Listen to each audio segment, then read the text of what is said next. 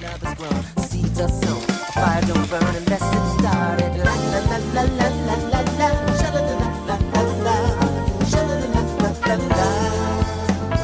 you ever feel that life was like looking for a penny in a large room with no light? Before we get on to this video, if you like what you see, make sure you support me on Patreon. Everything is very much appreciated. And also, if you want to request things for me to react to, movies, albums, you know, songs, uh, definitely make sure you check me out on Streamlabs. Both of those links are in the description. And with that being said, much love, stay safe, and peace out.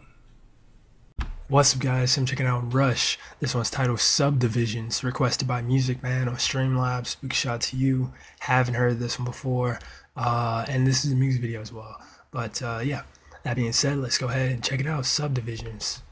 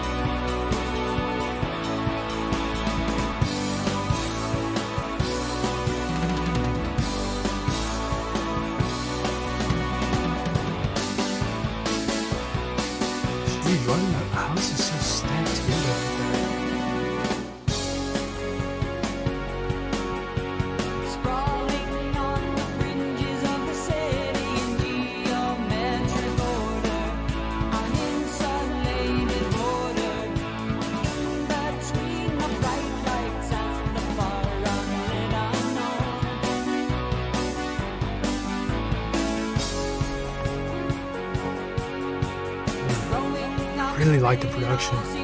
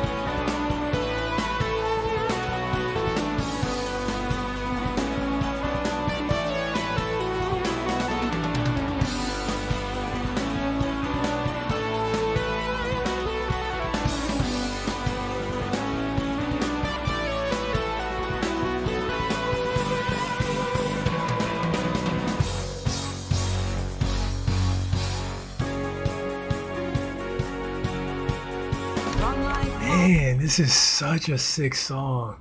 The production, the message behind it. I love a song with a good message. Well, yeah, good message.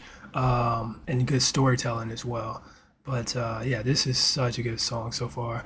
I am having a little bit of difficulty understanding what he's saying, you know, some of the times, but I feel like that's because it's a music video for the most part. But uh, yeah, this is amazing.